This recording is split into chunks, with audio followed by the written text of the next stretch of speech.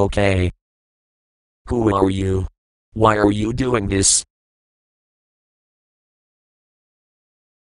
I want to destroy your school and your temple and replace it as a new temple as well I can't tell you. Why can't you tell us then? Cause I thought it'd be better that you all S-H-U-T-T-H-E fuck up and taste my power's death.